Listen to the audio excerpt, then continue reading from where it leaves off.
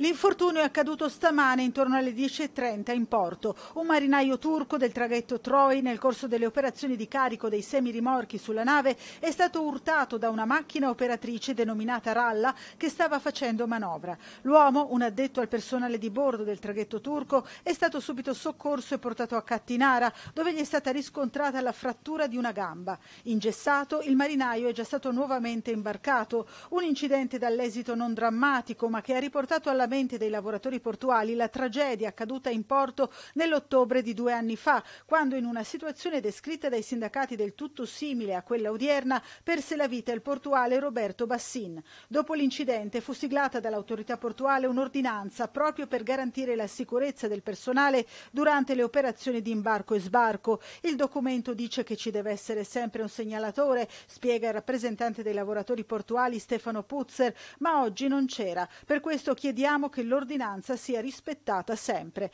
La tragedia, aggiunge, è stata solo sfiorata. Alcuni operatori generici sono riusciti a bloccare il manovratore della ralla, che altrimenti avrebbe probabilmente schiacciato il marinaio turco, anziché toccarlo soltanto. A breve si riunirà un tavolo urgente in porto sull'accaduto.